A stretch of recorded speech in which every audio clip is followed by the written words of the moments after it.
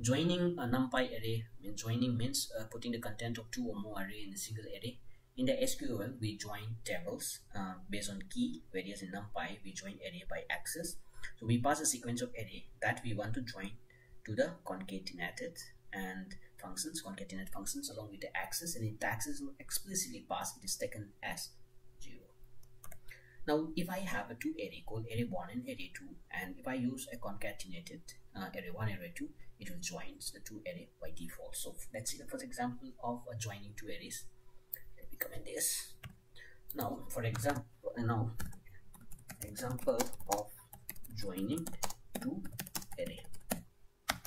Now let's say array 1 equal to uh, np dot array and uh, I define 1 comma 2 comma 3 comma 4 I have a 4 element array and array 2 equal to np dot array.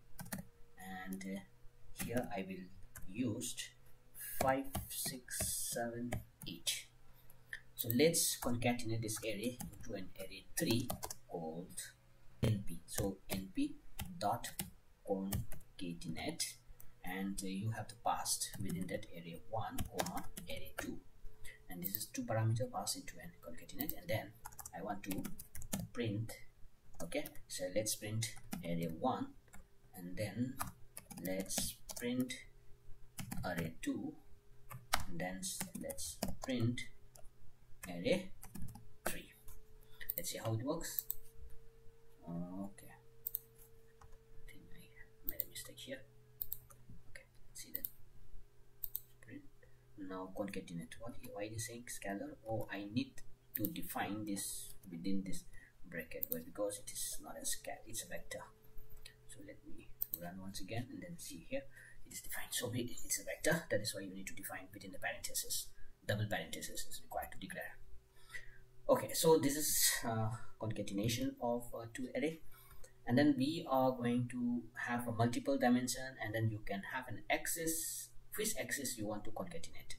So a sim similar way i want to divide this array something like this okay no issue. And then I have a two dimension array something like this I divide it into this. Then you can have something like this okay. And then when I say concatenate the array 1 and array 2 and when you do the concatenation of array 1 array 2 and then you need to define which axis you want to uh, concatenate. So here axis equal to 1 say if I say axis equal to 1 what happens? Okay. Oh, sorry. Here I missed one bracket. Okay. Now with this one uh, let me print out and let's see that how it's concatenated it here. So it is concatenating as a 1 2 uh, 5 6 1 2 5 6 the first one and then 3 4 7 8 like this it is coming into the axis one. Now in case if I uh, give the same okay if I use the same thing but I change the axis to say 0 what happens? Let's see. 0 then it concatenates something like this. So the array 1 is this is the array 1 and this is array 2 and the array t is 1 2 3 4 5 6 7 8 so 1 2 3 4 5 6 7 8 that's how it concatenated now in case if I change this okay? Into instead of 0 I'll just put 2 let me say 2 what happened? Let's see how it works. 2 doesn't work because it becomes out of bound because there are only two array here. Now this. Instead of this I'll just put it into three dimension array. Uh, no three column array. So the same thing here. 5 6 6 and 7 8 8 and then this one also let me have another.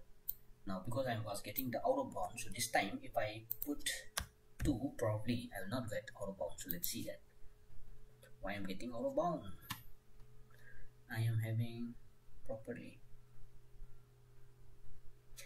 What is saying? Axis 2 is out of bound for an array of dimension 2 saying an array of dimension 2 is an out of bound. So if I say this and uh, one more this and uh, this and uh, one more this what happened let me see that wow so now you have an array of this dimension. So this is how if we can put axis 2 and then you see here 1 2 3 5 6 6 1 2 3 5 6 6 and then you have another array called 3 4 4 and 7 8 8 1 2 3 6 7 same thing so in this way uh, you can uh, do the x's and you can do the concatenations as you prefer